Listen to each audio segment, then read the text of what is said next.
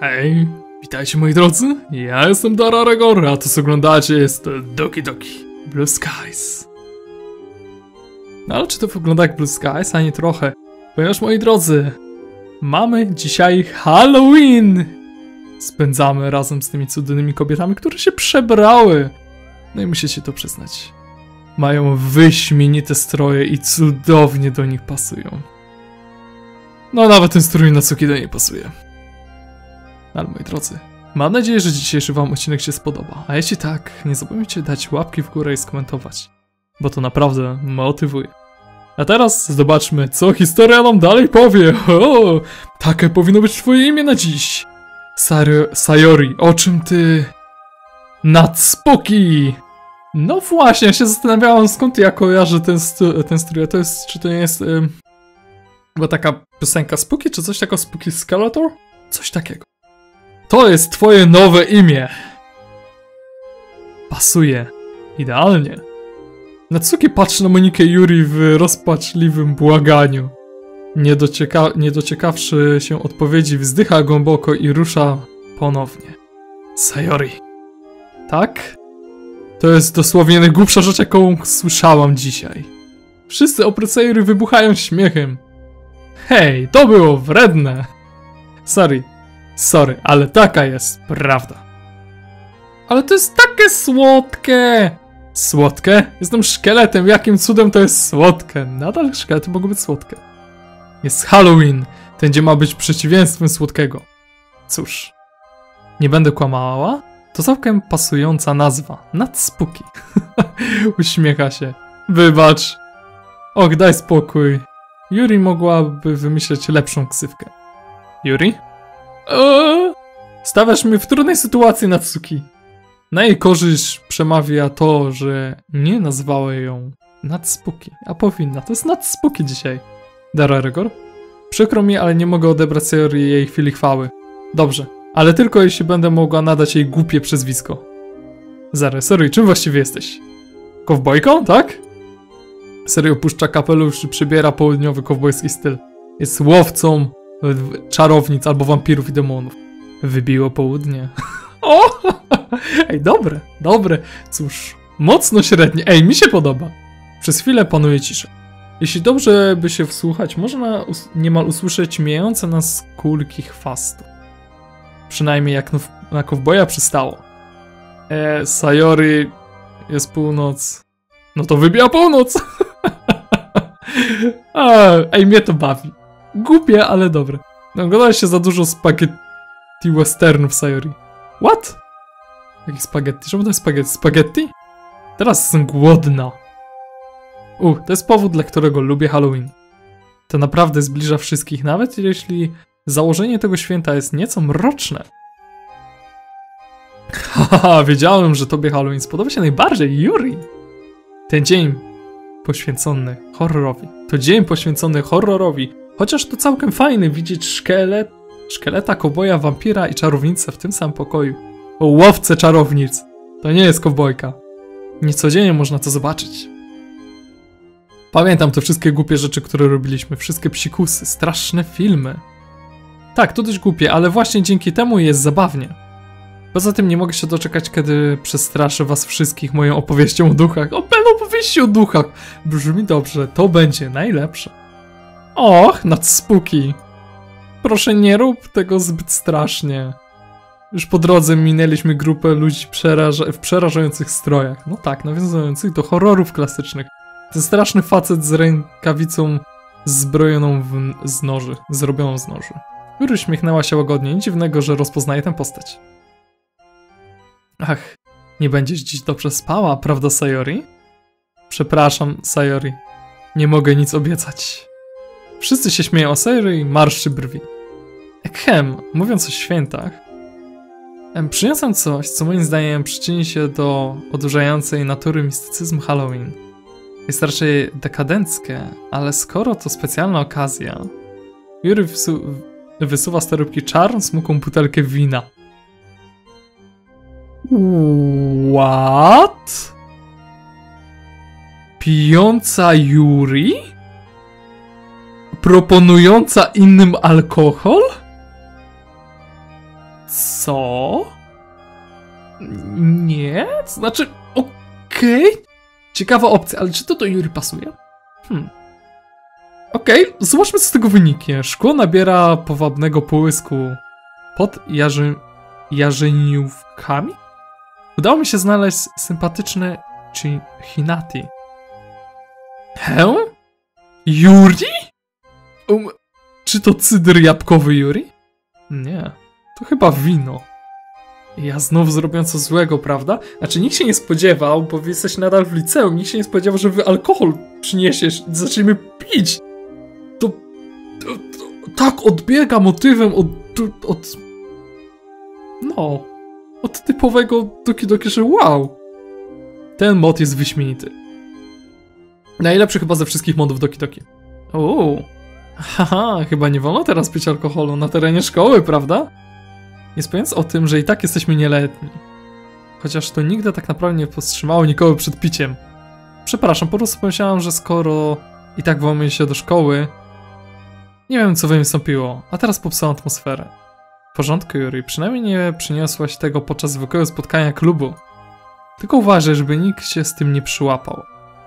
Muszę przyznać, że jesteś ostatnią osobą, po której spodziewałabym się, że przyniesiesz coś takiego. No. Pff, Yuri musi być pod wpływem godziny czarownic czy coś w tym stylu. Do godziny czarownic jest jeszcze około godziny. Wiesz co mam na myśli. Hej, nie szkodzi, to tylko urozmaici historii. Właśnie, Sayori, dobrze kombinujesz, podoba mi się. Historia? Tak, wiesz, historia dzisiejszej nocy, której będziemy później opowiadać ludziom. Hej, lepiej nie mieszaj do tego, do tego swojego nadspuki. Nie. Sayori! Nadspuki! W porządku, w porządku, z tym. A szczerze mówiąc, jestem trochę ciekawa, jak smakuje to wino. A, widzisz, Monika, się przekonujesz. Och, daj spokój, Monika. Czy to nie ty powinnaś tu być odpowiedzialna? Haha, masz rację. Mówiąc to, zarzuca tęskne spojrzenie na wino.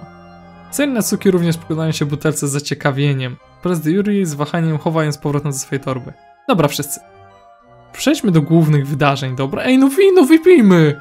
Kto pierwszy chce się podzielić swoimi wierszami? Swoim wierszem? Z kim chciałbym najpierw podzielić się swoim wierszem? Oczywiście, że idziemy od razu do Yuri. To jest pewne. Eteryczny. Okej, okay, to będzie ciężkie do czytania. Ja naprawdę bardzo przepraszam za moje czytanie. Ponure dźwięki złośliwości o północy unoszą się wokół... Czego? Jakiegoś kielicha, ujeżdżane przez wiatry z innego świata. Listy wyrwane z przybitych gwoździ. Postach przybliżająca postać bierze mnie za rękę, prowadząc ze współczuciem w puszczę. Uciążliwe ciężary unoszą się na moich ramionach, ze spokojem spadających głazów. Ich słowa są stłumione przez lament. Fałszywe zapewnienia nie zdołają wynieść. Zaciśniętej fasady ulotnego strachu. Czas jest stracony, nie ma już go tutaj. Kobaltowe nerwy, złamane dusze. Z blaskiem węgla, stukot kroków z dołu. Echo, echo, echo, echo. Mm, dobry, ej, fajny wierszyk. Przez chwilę w pokoju panuje cisza. Och, nie posunąłem się za daleko, czyż nie? Z tym winem trochę, ale dobrze wyszło. Nie, bardzo dobry wiersz, ej, jest fajny, trochę mroczny. O nie, to jest właśnie to, czego szukamy. Czy zechciałabyś nam powiedzieć, o czym myślałaś, kiedy to pisałaś? Okej. Okay. Jury bierze głęboki oddech. Trochę trudno to pisać, ale czasami zdarzają się noce, kiedy mój umysł wydaje się być pełen hałasu. Noce... Noce, które słyszę... Urywa. Czy aż tak bardzo wciągnęła się w swój własny wiersz? Hej, ziemia do Yuri! Ach! Przepraszam, nie chciałam się wtrącać. Już dobrze, Yuri. Nie śpiesz się. Tak, nie śpiesz się. Racja. Cóż, tak jak już mówiłam, chciałam próbować uchwycić uczucia, jakie można mieć w mroczną noc. Poczekaj, czy wszystkie noce, noce nie są mroczne? Nie, są też też miłe. To metafora, Sayori. Myślę, że Yuri próbuje mówić o tym, kiedy ludzie przechodzą przez trudny okres. Tak jest, Dararegor.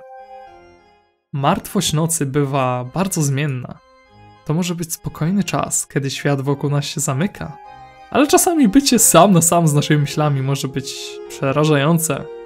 Ale ten wiersz był próbą odzyskania części tego mroku. Myślę, że właśnie sobie o tym, że sobie z tym poradziłaś, Yuri. Tak, bardzo mi się podobało. Podobało? Ja? Dziękuję. Eee, fajny. Gdzie idziemy? Idziemy do Moniką. Wiecie, znowu zabawa miejscem. Dobra. Zaduma. Obudziłam się. Zimno. Czarna noc. Cicha i spokojna. To chyba zimna powinna być. Padam na kolana. Drzazgi w mojej ręce. Pył w powietrzu. Zimno. Gdzie ja jestem? Sięgam po światło, którego potrzebuję. Jest tam? Włącznik jest wciśnięty. Czuję ciepło na twarzy, dłoniach, ramionach i na ciele. Obudziłam się. Wszędzie jest ciemno. Zimno. Milczący i odrętwiały. Wyciągam rękę. Nie mam oczu, by widzieć. Ale ja to czuję. Wciskam przełącznik. Ciepło mnie wypełnia. Znowu nadchodzi ciemność. Znowu umieram. Obudziłam się. Szukam w swoich uszach. Głosu? Zimno. Wyciągam rękę i czuję. Nic? Gdzie to jest? Czy to nie było prawdziwe? Nie było go tutaj? Wszyscy sięgają, ale nikt nie może jej dotknąć. Znowu nadchodzi ciemność. Wszyscy umrzemy ponownie. Obudziłam się. Znowu tutaj? Mm, ja trochę pogdybam, ale to jest znowu nawiązanie do tego, że y, Monika umiera i rodzi się na nowo, ciągle zimno, kiedy włączamy grę, znowu jest ciemno i się budzi, tak na nowo umiera, żyje, pojawia się ciągle w tym samym miejscu. Takie moje gdybanko. Monika kłania się lekko po zakończeniu. Rozmyślę nad tym, co właśnie przeczytała. Nie rozumiem. Brzmiało jak coś, co napisałaby Yuri. Nowa muzyka. Chyba. Och, czy to coś złego? Oczywiście, że nie. Co to znaczy zaduma? Nie wydaje mi się, żebym to wcześniej słyszała. Słyszał.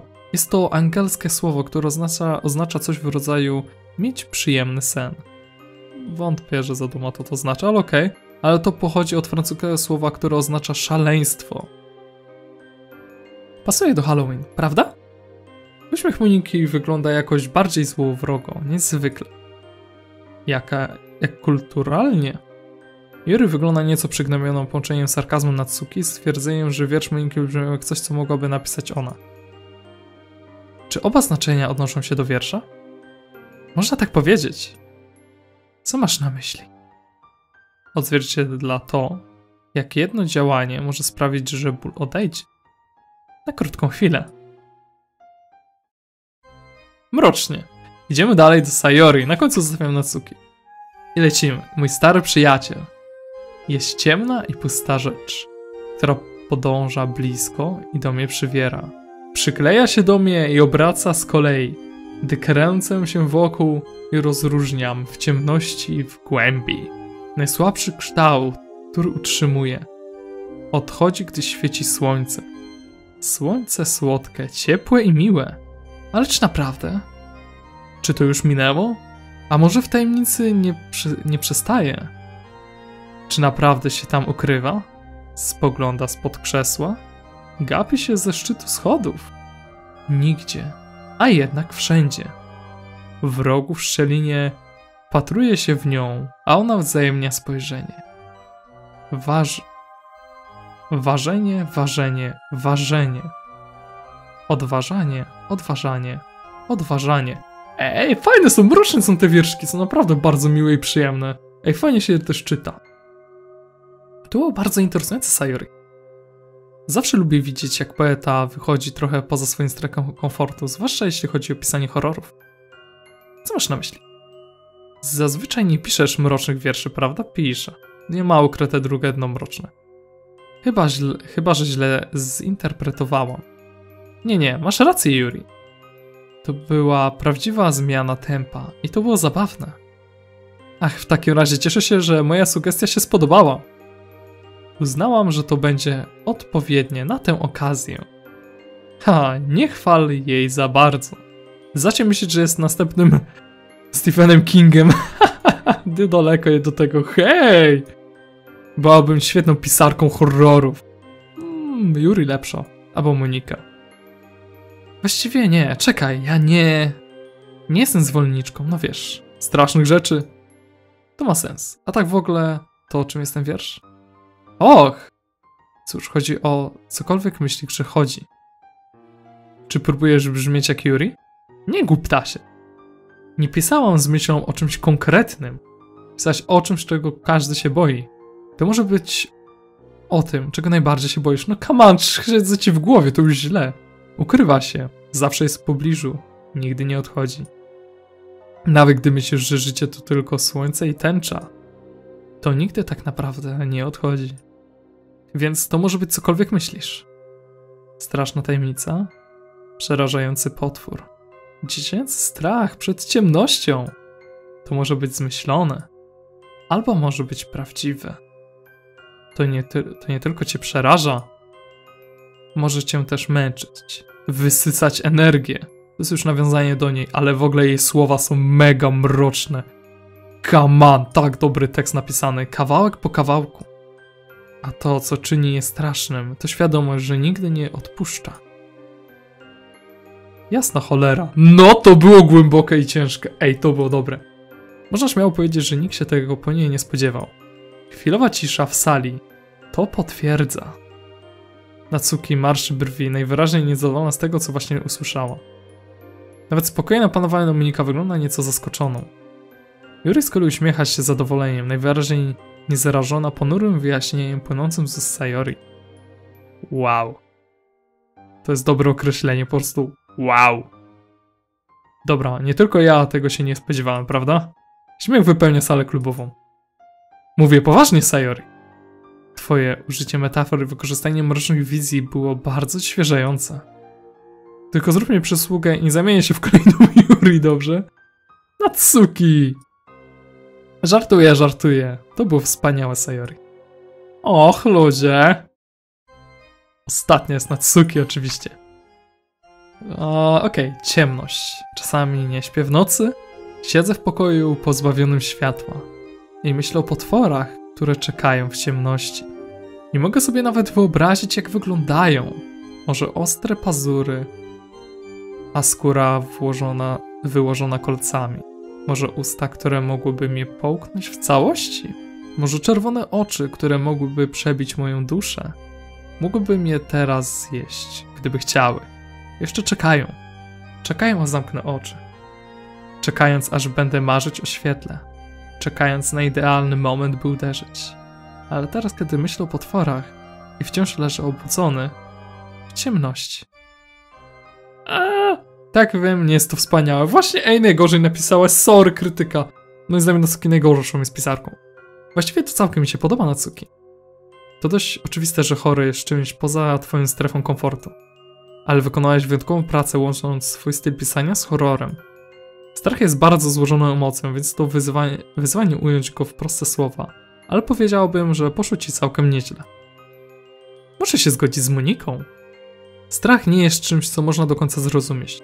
Złożoność tego, czego człowiek się boi, dlaczego się tego boi, jest wręcz niezgłębiona.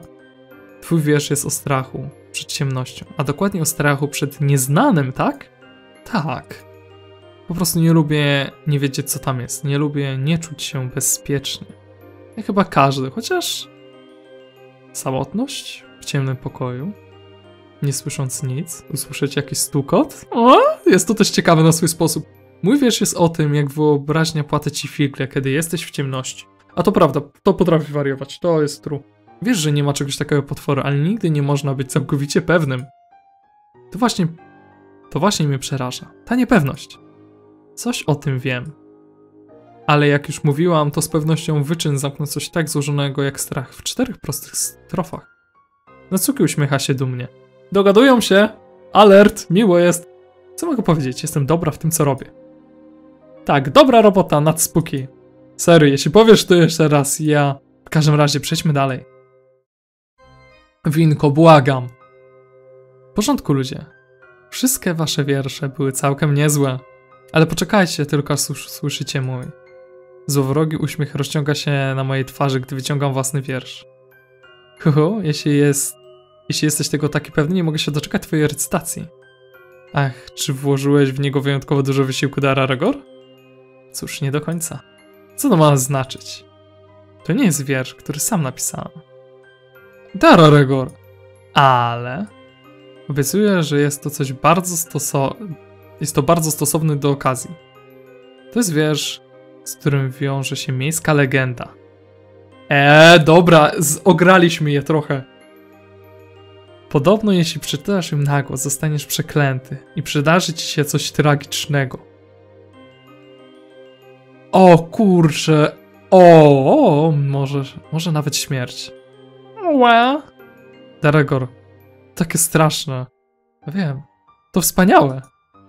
Ten wiersz nosi tytuł Piekło Tomino i został napisany przez poetę o imieniu Saijo Yaso. Źle to wymawiam. Ja wiem, nie krytykujcie mnie, ja wiem. I tak się składa, że właśnie ten wiersz będę wam wszystkim czytał. W tej właśnie chwili. Dararegor, nie rób tego. A co jeśli naprawdę stanie się coś złego? Pff, tak, racja. Nie bez powodu nazywa się to miejską legendą, wiesz? Z naciskiem na legenda. Coś, co nie jest prawdziwe. Jeszcze. Jeszcze. Ha, chciałbym zobaczyć spis wszystkich osób, które do tej pory przeczytały wiersz. A, statystycznie rzecz biorąc jest prawdopodobnie e, prawdopodobne, że coś tragicznego w końcu i tak ci się przytrafi. Uważam, że z tymi powieściami zawsze kryje się jakiś element prawdy. Oczywiście prawda to może nie odzwierciedla dosłownego znaczenia opowieści legend, jednak za legendą prawdopodobnie kryje się jakieś przesłanie. Tak, tak, ja nie jestem na tyle łatwowierna, by uwierzyć w te rzeczy. No nad spóki tu się już boisz tak naprawdę. Dobra, ludzie, usiądźmy. Możecie wszyscy wyrazić swoje myśli po tym, jak to przeczytam. Piekło to mina. Starsza siostra wymiotuje krwią, młodsza zje ogień. A słodka, mała Tomino po prostu wypluwa klejnoty. Tomino samotnie wpadła w, pieku, w to piekło. Piekło całkowitego mroku. Ja to czytam na głos, więc moi drodzy. Zobaczymy, czy to jest prawda. Nawet bez kwiatów. Czy to straszna siostra Tomino jest tą, która go bije? Cel biczowania.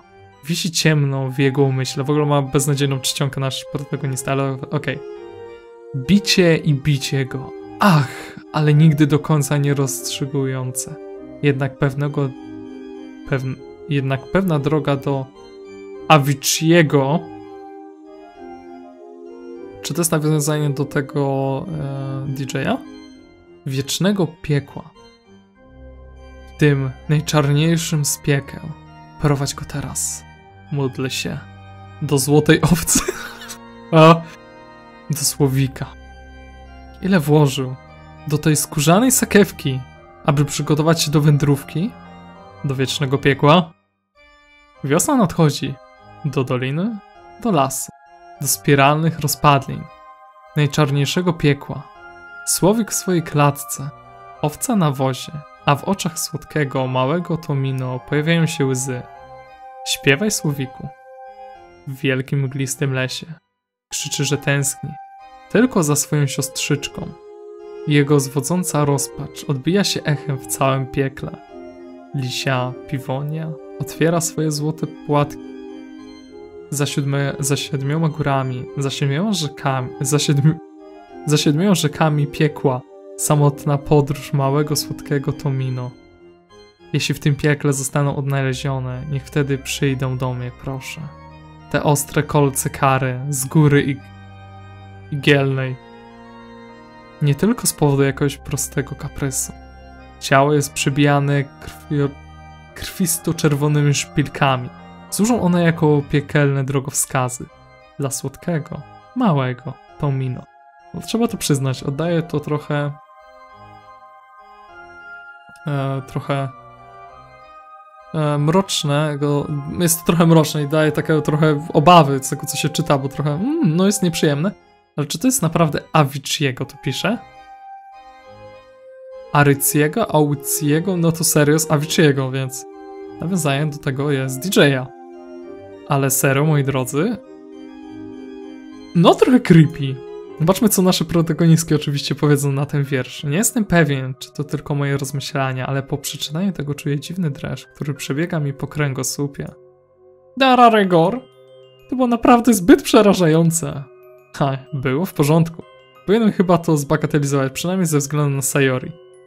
Czy tu będzie motyw naprawdę jakichś nadprzyrodzonych mocy w tym modzie? Będę w szoku. Haha, muszę się zgodzić z Sayori. To było bardzo przerażające, staroświeckie uczucie. Po słyszeniu tego nie wątpiłabym, że coś złego szykuje się w twojej przyszłości. Monika! Osobiście uważam, że wiersz był piękny. O, Yuri, cieszę się. Oczywiście na pewno też przerażający, ale zawiera wiele symboli, metafor, które wyłapałam tylko po jednokrotnym usłyszeniu. Myślę, że w wolnej chwili będę musiała się bardziej mu przyjrzeć. No nie, Yuri, bo za chwilę ty sobie jeszcze klątwę na siebie z... No, wiesz, no, przygarnisz do siebie, więc nie. Pff, myślicie, że to było straszne? Moim zdaniem był całkiem słaby. Broń się. Pyta najwyraźniej za bardzo starał się być mroczny i mądry. Jeśli mogę się z całym szacunkiem... Jeśli mogę się z całym szacunkiem nie zgodzić, ton i dobrosłów wiersza pasuje do jego treści. Nie jest napisany w ten sposób tylko po to, by być mroczny. W końcu, jeśli dobrze zrozumiałem, to Mino został wygnany do piekła za zamordowanie własnych rodziców. He? Jak, jak wyciągnęłyście to z wiersza? Erm, cóż... Wspomina, że Tomino jest na drodze do Avicii, najniższego piekła w buddyzmie. Aha, to nie jest mowa o tym e, DJ-u, to jest mowa o... Okej. Okay. Nie znam się aż tak na buddyzmie, ale warto wiedzieć, że coś takiego jest. A zabicie rodziców to jeden ze sposobów, by zostać tam wysłanym. Och, cóż, nieważne. Bardzo mądrze, Yuri, jestem w szoku. I tak mi się nie podoba. Cóż, możecie się, e, możecie się zgodzić, że się nie zgadzacie. Ale niezależnie od tego, czy wiersz ci się podoba, czy nie, musisz się zgodzić, że on i związana z nim legenda są całkiem interesujące, prawda? To znaczy, chyba. Daragor, a teraz będę musiała cię dobrze pilnować. Na wszelki wypadek, gdyby legenda się spełniła, nic mnie już nie uratuje. Koniec jest bliski. Sery jest. Sery jest większa szansa, że coś złego stanie się najpierw tobie, biorąc pod uwagę, jak bardzo jesteś niezdarny. Hej! Wszyscy się śmieją, a Sery dołącza do nas po chwili udawanego płaczu. A te winko? Ach ludzie, to było takie przyjemne. Ej Seru, winko, dajcie! Fajnie jest straszyć przyjaciół grup głupimi psiukasami, a przebieranie się to też fajna zabawa. Chociaż tak naprawdę nie lubię horrorów aż tak bardzo. To takie straszne myśleć, co może tam być. Właśnie to jest fajne, ta ekscytacja, ta niewiedza. Ua. Przestań tchórzyć, Sayori. Hej, to ty się wcześniej wystraszyłeś Moniki. Dziewczyny śmieją się ze mnie, a ja wydaję siebie jęk. Ona nigdy nie pozwoli mi o tym zapomnieć. Deutsch. Deutsch? W każdym razie czas na opowieści o duchach, prawda? Szczerze mówiąc, nie znam zbyt wielu. Haha, przepraszam, ale szukałem jakichś w internecie. Większość z nich była bardzo długa. Jak ta o. Co to było? Jakiś eksperyment ze STEM. O ja cię, znam tą. Nie wiem, czy to jest legenda, czy co, ale ja wtrącę się tu Sayori, ale jest właśnie taka, no, nazwijmy to legendą, że Ros Rosjanie e, chcieli sprawdzić, co się stanie z ludźmi, kiedy nie będą mogli spać i przy użyciu gazu powodowali, że grupa 20 osób nie mogła zasnąć przez parę dni i zaczęli wariować, potem chcieli na siłę nie spać, bali się snów, zaczęli nie jeść, zabijać siebie nawzajem, obdzierać się ze skóry, więc o, no to jest takie. Serio, bredzisz. Och, ups, radzę naprawdę. Jeśli kogoś to interesuje i nie boi się nie tyle strasznych, co drastycznych rzeczy, warto odsłuchać. Jest dużo rzeczy o tym w internecie. Przepraszam, jestem zielony w opowiadaniu strasznych historii. Jestem jednak ciekawa, ludzie. Jakie widoki lub dźwięki was przerażają? Szczerze mówiąc, cisza mnie przeraża. Zwłaszcza po przeczytaniu trzymającego w napięciu horroru. Cisza? Nie. Cisza jest przyjemna. Czy tylko ja uważam, że odwrócona muzyka jest naprawdę przerażająca? Czasami, to się bardziej już zgodzę z Moniką, niektóre piosenki, tak. Mój nauczyciel gra na fortepianie, pokazał mi kiedyś kilka odwróconych utworów. To było po prostu złe uczucie słuchać ich. Szczególnie gdy zawierają wokal. zaczynasz słyszeć rzeczy, których nie ma. Um, nie wiem. No dalej, Nasuki. Musi być coś, co cię przeraża. Och, będziecie się tylko śmiali. Lustra. I ja kiedyś to mówiłem gdzieś w których nagraniach. Lustra są straszne. Znaczy, już nie. Kiedyś miałem obawę odnośnie luster, że wiecie, coś może być w odbiciu lustranym, lustrzanym. Zobaczyć. To jest dość creepy, że stoicie na przykład w nocy przed lustrem, widzicie coś za sobą, odwraca się, się tego nie ma. No zawał, moi drodzy, zawał totalny. Ja oczywiście już nie, ale kiedyś, no, kiedyś ja chyba wam luster. Nie będziemy. No mam rację, Natsuki, wszyscy się podzieliliśmy. Co to jest? Natsuki odwróciła wzrok mówiąc do podłogi. Klauny?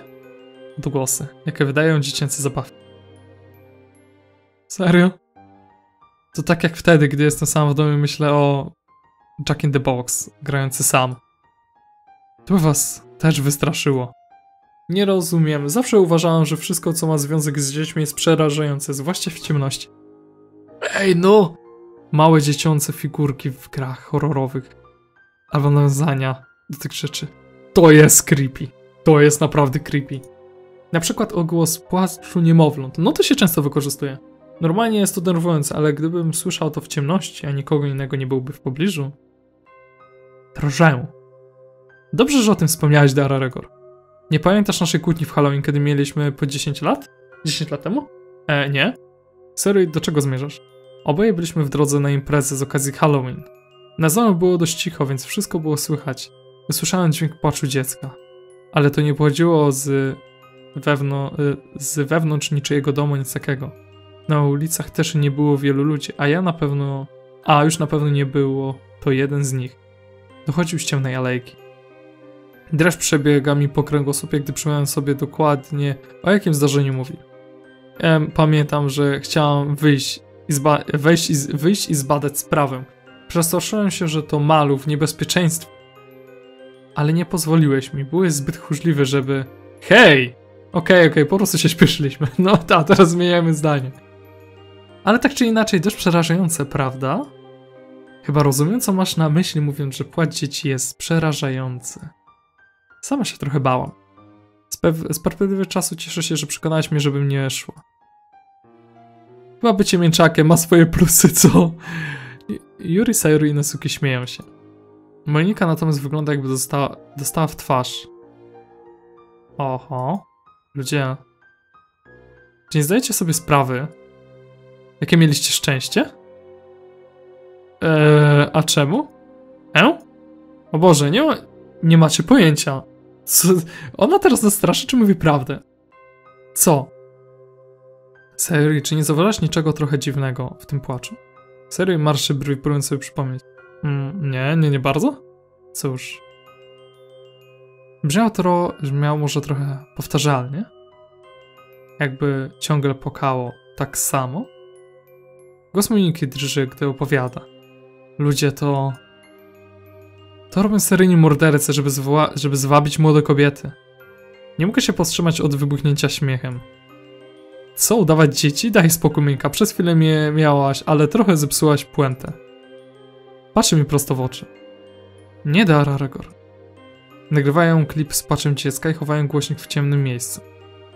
Żerują na instynkcie macierzyńskim kobiet, ponieważ wiedzą, że przyciągają je odgłosy niemowląt w niebezpieczeństwie. Śmiech, za... Śmiech zamiera... Śmiech zamiera mi na ustach, a jego miejsce zajmuje zimna, obrzydliwa cisza. O mój Boże. To dlatego krzyty, krzyki nie brzmiają naturalnie.